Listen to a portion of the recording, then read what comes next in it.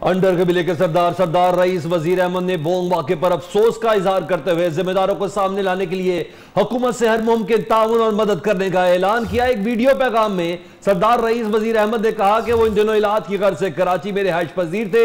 उनकी गैर मौजूदगी में चंद नामालूम शर पसंद अनासर की इश्तियाल अंगेजी से हमारे पुरमन इलाके में अफसोसनाक वाक़ हुआ है।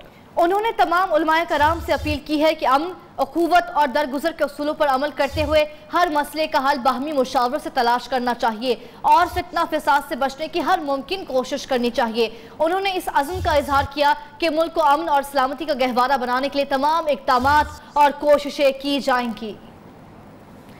अहम खबर से आपको अपडेट करें अंडर कबीले के सरबरा सरदार रईस वज़ीर अहमद ने भूम वाक्य पर अफसोस का इजहार करते हुए जिम्मेदारों को सामने लाने के लिए हुकूमत से हर मुमकिन ताउन और मदद करने का ऐलान किया है।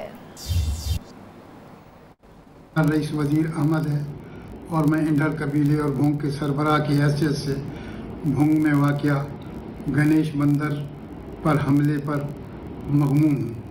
हमारे इलाके भूंग में मुख्तलिफ़ मज़हब और मकातब फ़िक्र के लोग अमन और बहमी हम आहंग साथ सदियों से ज़िंदगी गुजार रहे हैं।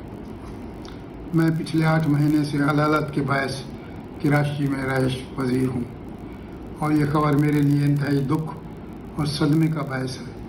मेरी गैर मौजूदगी में चंद नामालूम शर पसंद अनासर की इश्तहाल अंगेजी से हमारे पुरमन इलाके में ऐसा वाक़ पहली दफ़ा वक्यू पजीर हुआ है।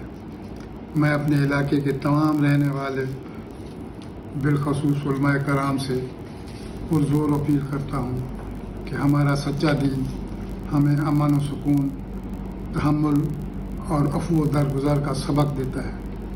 हमें इन असूलों पर अमल पैरा होते हुए हर मसले का हल बाहमी मुशावरत से ढूंढना चाहिए और फितना फसाद से हर मुमकिन बचना चाहिए। इस वाक़ के ज़िम्मेवार अफराद को सामने लाने के लिए हम हकूमत से हर ताउन करेंगे और अपने मुल्क को अमन व सलामती का गहवारा बनाएँगे इन